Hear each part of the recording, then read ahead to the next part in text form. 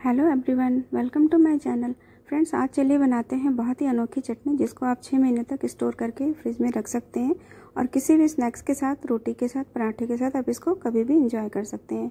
तो चलिए देखते हैं कि कैसे बनता है ये। तो सबसे पहले मैंने इसके लिए ले लिया है धनिया, पुदीना, थोड़े से लहसुन और हरी मिर्च। मिर्च आप टेस्ट के अकॉर्डिंग ऐड कर सकते हैं, कम या ज़्यादा कर सकते हैं। तो पहले हम, मैंने क्या किया कि धनिया, पुदीना सभी चीज़ों को अच्छे से धो के थोड़ा सा इसको सुखा लिया है। आप पंखे के सामने भी रख दें ये तो भी ये आधे घंटे में सूख जाएँगे। या फिर अगर आपके घर में धूप आती है तो थोड़ा सा उसको धूप में रख दें, वो सूख जाएगा। बस श्योर ये रहे कि पानी उसमें नहीं होना चाहिए अदरवाइज़ हमारी चटनी ख़राब हो जाएगी। अब मैं इसमें डाल रही हूँ वन फोर्थ कप ये विनेगर है, हम इसको पानी से नहीं बनाएँगे, हम इसको विनेगर से बनाएँगे। विनेगर डाल के फिर इसमें मैंने टेस्ट के अकॉर्डिंग नमक डाल दिया है। अब इसको पेस्ट बना लेंगे। ये देखिए, मेरा चटनी का पेस्ट तैयार हो चुका है। अब इसको चलिए कंटेनर में निकाल लेते हैं।